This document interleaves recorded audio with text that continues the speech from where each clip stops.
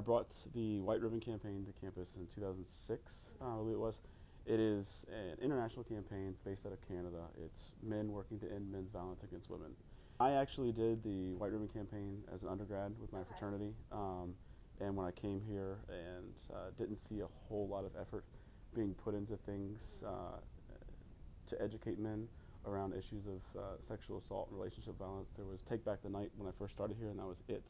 And so I wanted to do something that was geared towards educating the men. Three years ago, uh, 2000, yeah, 2013, about, um, we brought, we had decided come up with this idea during the summer, during our retreat, to have this 5K run. Um, and so what we did is we took the normal um, route around campus from other 5Ks and kind of made it so we didn't have to cross major roads and use it to raise money for our, our partner, Safe Harbor.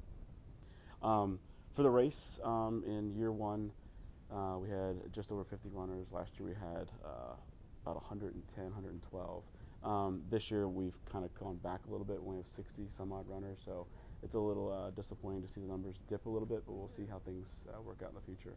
There's a top male student finisher, the top female student finisher, and then top male and top female staff or faculty finisher, and then there's the one miler um, finisher. I mean, we're really excited. We really love the event, and it's really nice to have the students come out and raise money. Everyone that's done it uh, has enjoyed it. Um, every year, like I said, the course changes, but people still enjoy it. Um, it was a beautiful day. Couldn't have asked for better weather, and felt great to run. Did come in last place, but it was awesome, and um, really happy that we all came out and supported a great cause.